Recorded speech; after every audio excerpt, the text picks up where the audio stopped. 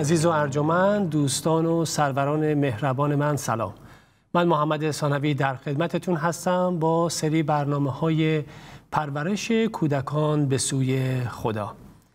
ما در هفته گذشته راجع به عواملی که بچه های ما رو و حتی خودمون رو شکل داده با همدیگه گفتگو داشتیم و امیدوارم که توی این مدت شما تونسته باشید به اون سوالاتی که در آخر برنامه خدمتتون عرض کردم جواب داده باشید و یه تصویر بهتری واضحتری از شخصیت خودتون و همینطور بچه هاتون به دست آورده باشید.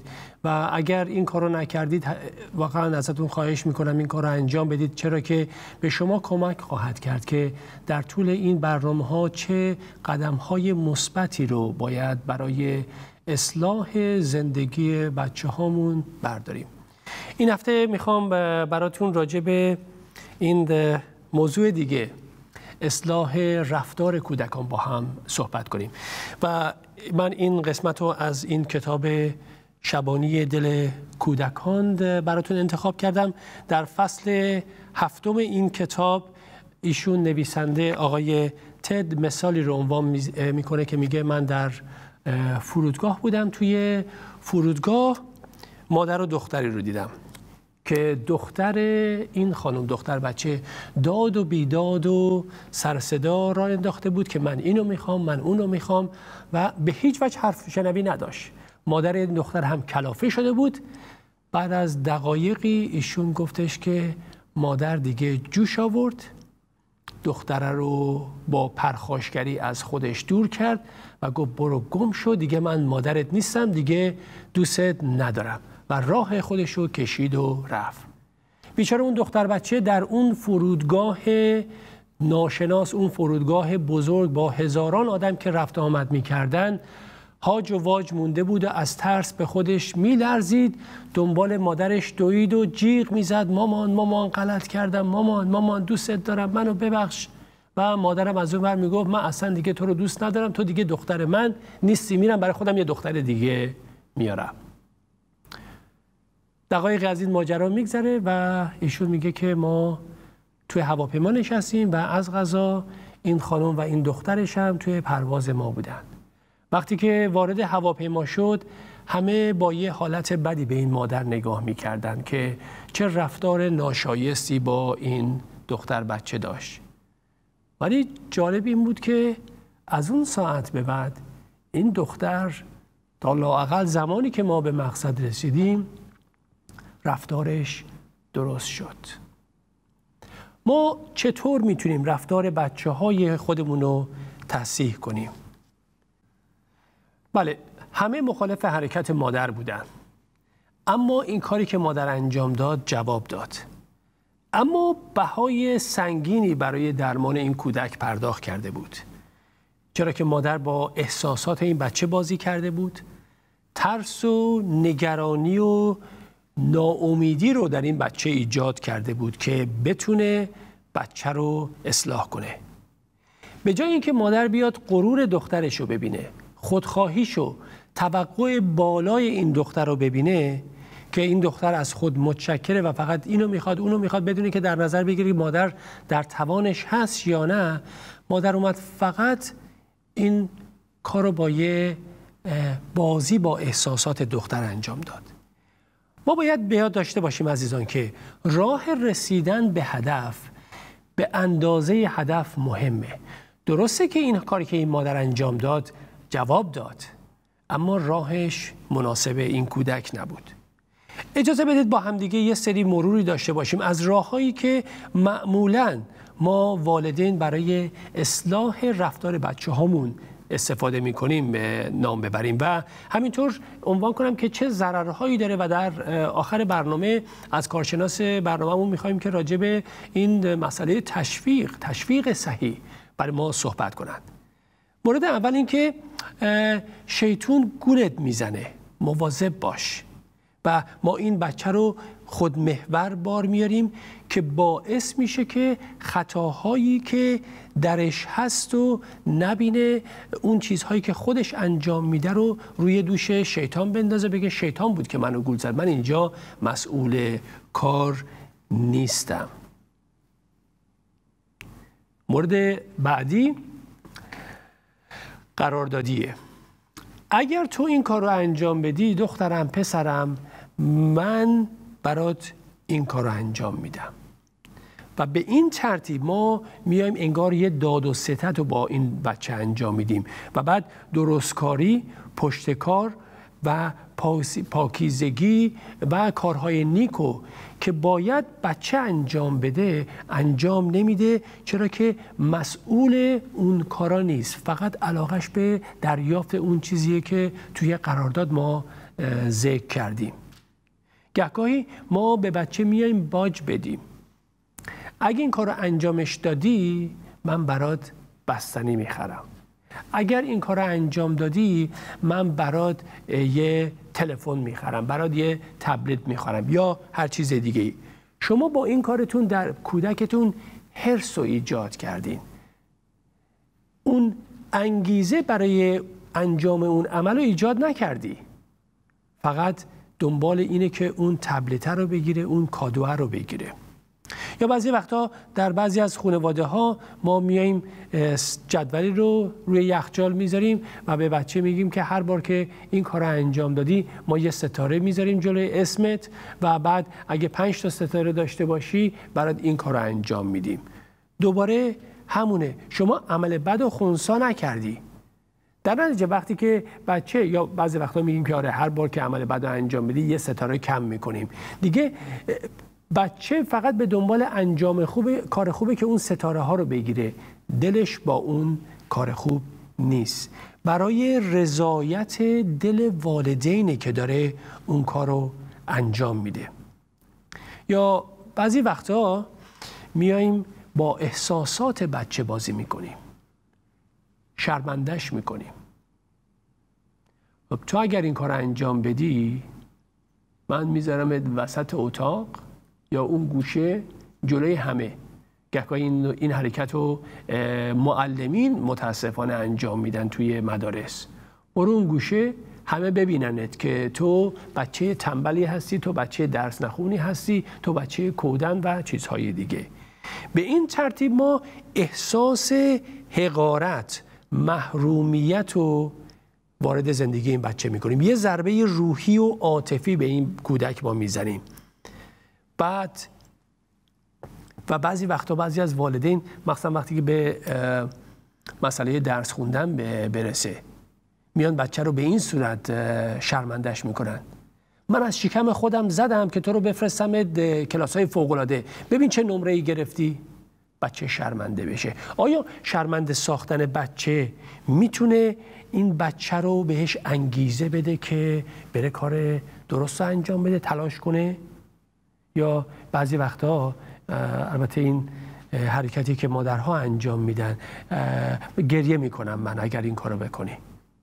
با احساسات ظریف این کودک ما بازی می‌کنیم. یکی از کارهای دیگه که گهگاهی والدین انجام میدن مسئله اینه که ببین دو تا فرشته روی شونهات نشسته یه فرشته خوبه یه فرشته بده. به حرف کدوم فرشته داری گوش می‌کنی؟ انگار جنگ بین نیکی و بدیه شرارت و نوره. و به این ترتیب این انتخاب ماست که این یکی رو به اون یکی پیروز می‌کنه که این نبرد خوبی و بدی و یا همون مکتب دوالیزمه. ما دوالیزم رو داریم به کودک درس بیدیم بعضی وقتا با تنبیه و تهدید. که متاسفانه این مورد در منازل بسیار رواج داره. گهگاهی ما ممکنه در بیرون از منزل این کار رو انجام ندیم. البته بستگی داره در کجا هستیم. بعضی وقتا عزیزانی که در خارج از ایران به سر می‌برند در کشورهای پیشرفته این مسئله بله غیر قانونیه که شما بخواید تنبیه فیزیکی انجام بدی و شما خود دچار مشکل خواهی شد از لحاظ قانونی. ولی اینو ما بیرون انجام نمیدیم توی خونه انجام میدیم و درد و در بچه ایجاد می‌کنیم. بعضی وقتا تنبیه ما بهش تو وعده غذا نمیدیم گرسنگی رو ایجاد می‌کنیم. بعضی وقتا تو اتاق زندانیش می‌کنیم تنهایی رو درش ایجاد می‌کنیم و قافل از این که بعد از مدت این بچه ما با اون درد خو می‌گیره. با گرسنگی خو می‌گیره. با تنهایی خو می‌گیره و یه ضربه بدی ما به هیکل این بچه ما وارد می‌کنیم. یادم بچه ای که در یکی از منازل که از دوستان بودم تنبیه شده بود قرار بود ببخشید قرار بود تنبیه بشه.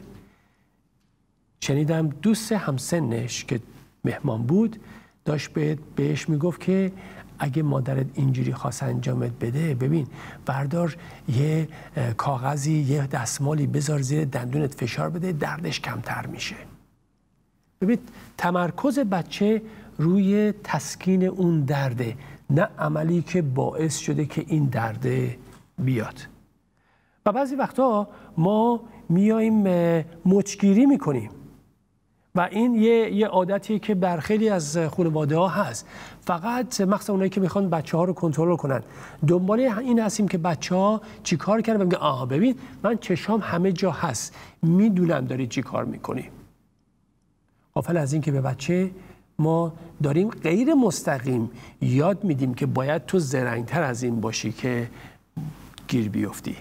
دفعه دیگه یه کاری می‌کنه که شما دروغش رو متوجه نشید یه کاری می‌کنه که اون کلکی که زده خواهرش و برادرش رو برداشته کتک زدهش گیر نیفته.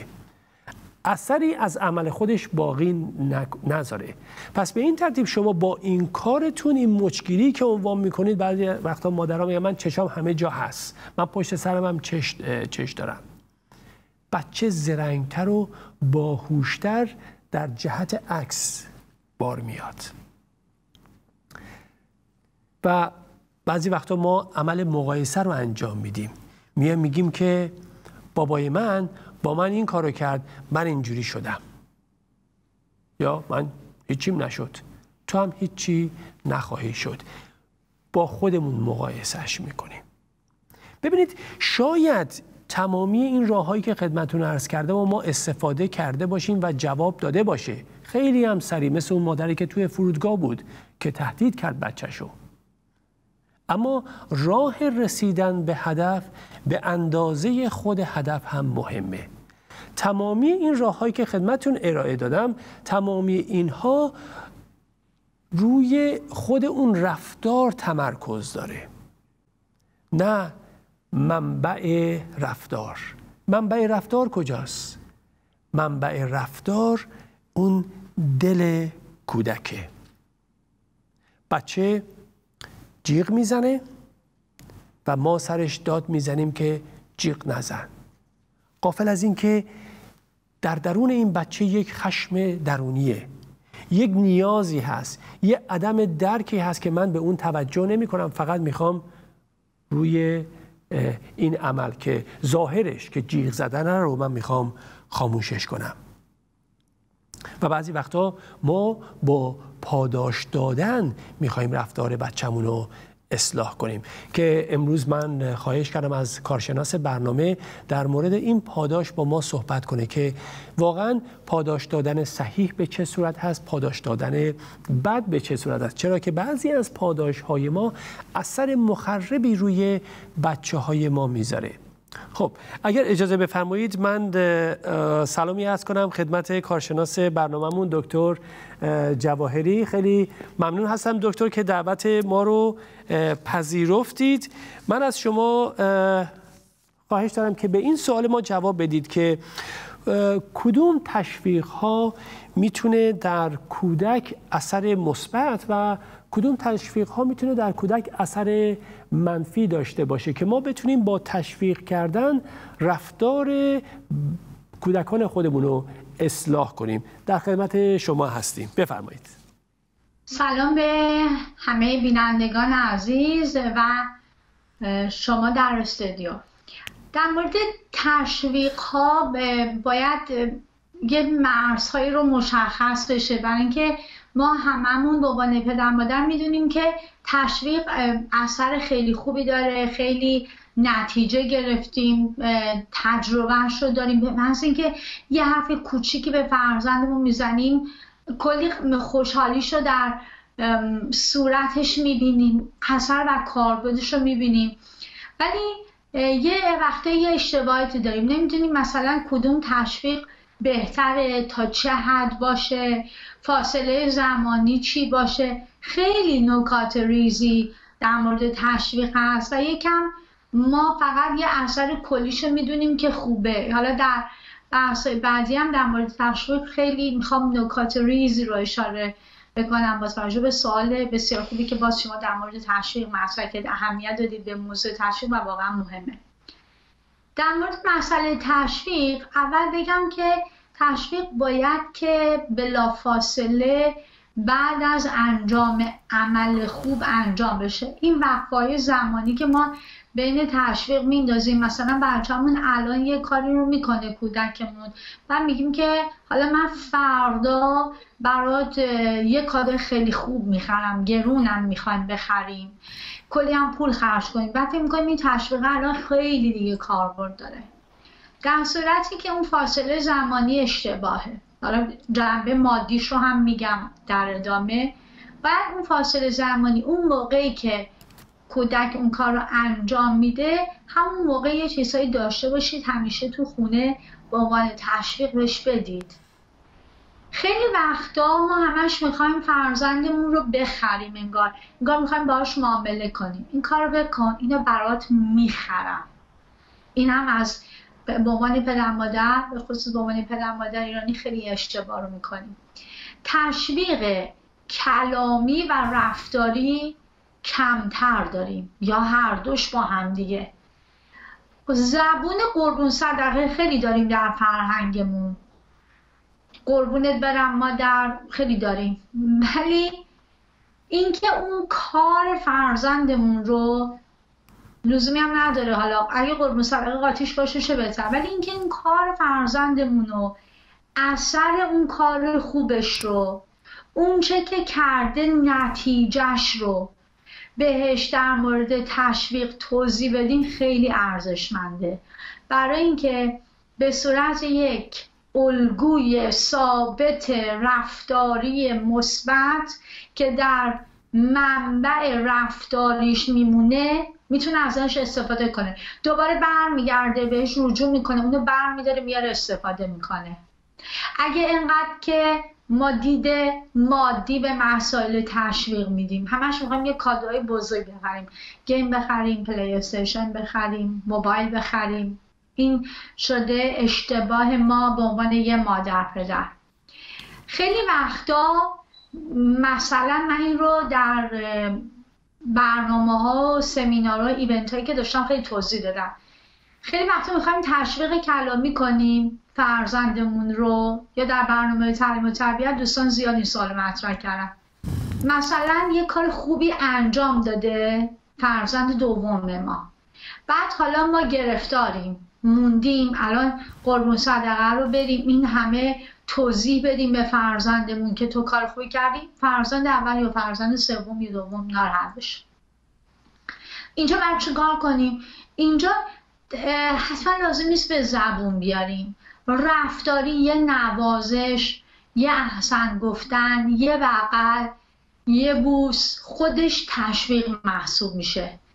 یه مقداری روی روش های تشویق کلامی روش های تشویق رفتاری باید کار کنیم. یا هر دو اونها با هم در یک زمان. چون همونطور گفتم ما زبان قربون صدقه داریم ولی زبان تشویق و اون چیزی که گفتم اثراتش رو بگیم چجوری تاثیر گذاره رو نداریم. خیلی از ما در پدرها متاسفانه این رو ندارن. با تشویق کردن قرار نیست ما فقط یه معامله با فرزانمون را بندازیم گفتم. قرار بر اینه که با تشویق کردن ما یه کاری بکنیم. یه مقداری تفکر و تعقلش و رشد قسمت های مختلف شخصیتش رو بهش برسیم بالا ببریم. که گفتم مثلا عواقب این کار رو توضیح بدیم. ما به تشویق به عنوان یک دوره زمانی کوتاه نگاه می‌کنیم. در صورتی که انقدر در تشویق میشه برای بچه ها کار انجام داد و انقدر میشه کارهای زیبا و قشنگی انجام داد مکالمه های خوبی رو با فرزندمون داشته باشیم یادگیری ها صورت بگیره. چرا؟ چون بیس کار و پایه‌ای که روی تشویق یعنی تشویق خودش یک پایه و یک در واقع یک بیس مستحکمیه یه پایه محکمیه که شما چیزهای دیگر رو می‌تونید روش سوار بکنید. بنابراین از تشویق میشه خیلی استفاده کرد. حالا ما چه کار می‌کنیم؟ میایم یه تشویق های آنی فوری فوتی رو به بچه‌مون میدیم. خیلی وقتا مخربه. مثلا میایم یه تشویق موبایل می‌خریم اینجوری تشویق می‌کنیم. بعد حالا موبایل رو دادیم به فرزندمون. کودک یا تبلت رو دادیم به فرزند کودکمون. حالا نمی‌تونیم ازش بگیریم. نمی‌تونیم بهش بدیم. بهش ازش بگیریم و بدیم. می‌گیریم خوشحالیم. بعد میگه بده نمی‌تونیم بدیم. چرا اصلا اون تشویق مناسب سن فرزند ما به فرض نبوده؟ یعنی خیلی از تشویقا به مرور زمان یک اثر مخربی داره.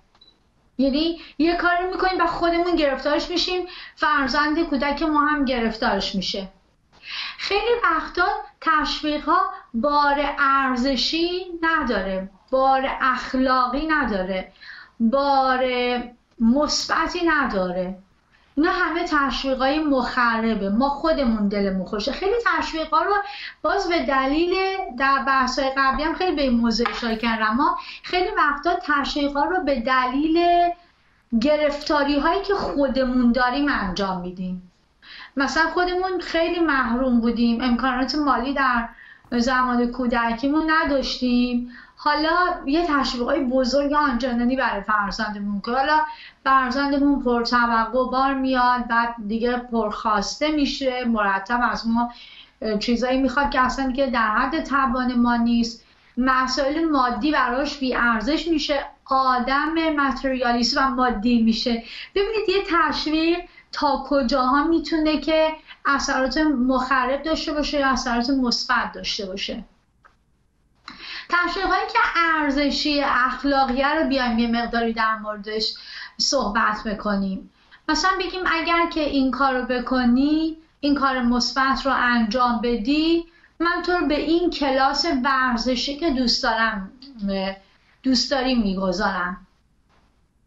یادت با هم رفتیم ورزش کردیم چقدر دوست داشتی ولی مثلا این کلاس رو قبلا ما نتونستیم بگذاریم. به فرض گرون بود. یا دلایل خاص خودتون رو داشتید در یا وقت نداشتی الان این امتیاز رو بهت میدم به دلیل این کار خوبی که کردی در این کلاس تو رو بگذارم حالا این کار رو انجام بدی. بنابراین با تشویق ها میشه خیلی کارهای مثبت دیگه رو روش سوار کرد. ما میگم به شرطی که یه مقداری معنوی تر و اخلاقی تر ارزشی تر به مسئله تشویق نگاه کنیم و روش فکر کنیم بنابراین دو تا بحث هست. بحث اینکه مناسبت داشته باشه با سن کودک از نظر عقلی هوشی و از نظر سن تقویمیش واقعا چه سن و سالی داره.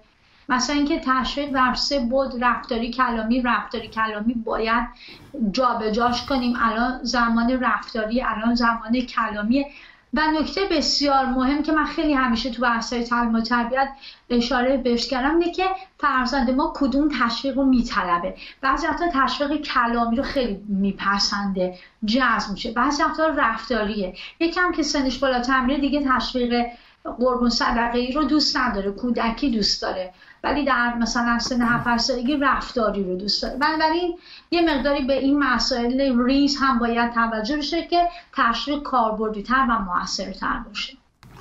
ممنون از شما از توضیحات مفصلی که در مورد تشویق دادید. به امید خدا در جلسات بعد در خدمتون خواهیم بود. خدا نگهدارتون باشه.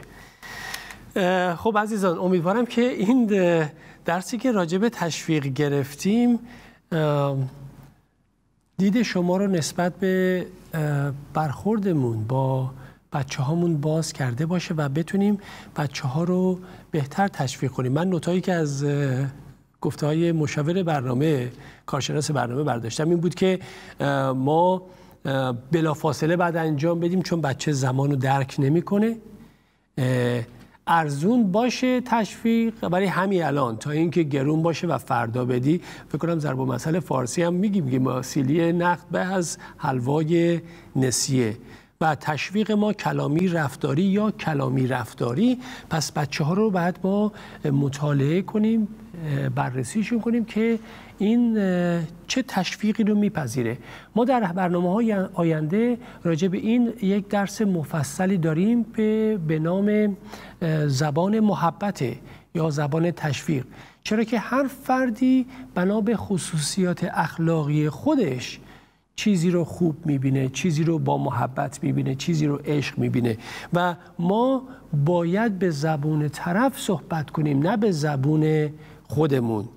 و مورد خیلی مهمی هم که عنوان کردن تشویق یعنی تفکر و تعقل و بالا بردن درک کودکه پس اینکه فقط کادو رو من بدم جایزه رو بهش بدم قربون صدقش حالا بخوام برم بدون توضیح هیچ فایده ای نداره فراموش خواهد شد. و نکته بعدی تشویق مثل فوندانسیونی میمونه که شما روی اون پایه هایی میمونه که روی اون امارت و طبقات دیگر رو شما میایید سوار می‌کنید. و چقدر خوبه که ما تفکر کنیم که این کودک ما که می‌خوایم تشویقش کنیم این کادوی ما جایزه ما هرچی اسمشو داره. مناسب سنش هست مناسب سن عقلی هوشی و سن تقویمیش هست یا یا نه. و جا داره که راجع به این مسئله صحبت کنیم که بعضی وقتها عزیزان ما به واقعیت به خاطر چشم و همچشمی ها تشویق های کادویی رو انجام میدیم که به رخ دیگران بکشیم که بله بنده برای بچم فلان چیز رو گرفتم قبل از اینکه کسی بگیره. خواهش می‌کنم از این مقوله ها ما بیایم بیرون و فرزندانمون رو درست تربیت کنیم. در صداقت در پاکی در رست رستگاری. روش هایی که قبل از گفتگو با کارشناس برنامه با همدیگه داشتیم. تمامی اینها ببینید روی رفتار کودک فقط تمرکز داره. با دلش کاری نداره. زمانی که تغییر رفتار کودک رو ما با پاداش با ترس شرمندگی انجام میدیم کودک به اون پاداش به اون ترس به اون شرمندگی پاسخ میده. و هیچ کدوم از اینها اون عامل اصلی که در دل کودک هست و اصلا تحت پوشش قرار نمیده. و دل کودک همونی هست که بوده و فقط به خاطر ترس و استراب و نگرانی و هر چیز دیگه ای که شما اعمال کردی میاد رفتارش رو تغییر خواهد داد.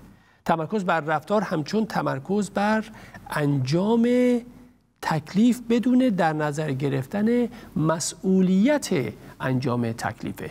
و همونطوری که در برنامه های قبلی خدمتون عرض کردم برای اینکه ما خونه خودمون رو درست بنا کنیم این پایه خانواده باید بر, بر اساس محبت محبت الهی و سقف این خونه باید بر مبنای نظام مسئولیت الهی بنا بشه و باید کودک درک کنه که او مسئول انجام این کار هست.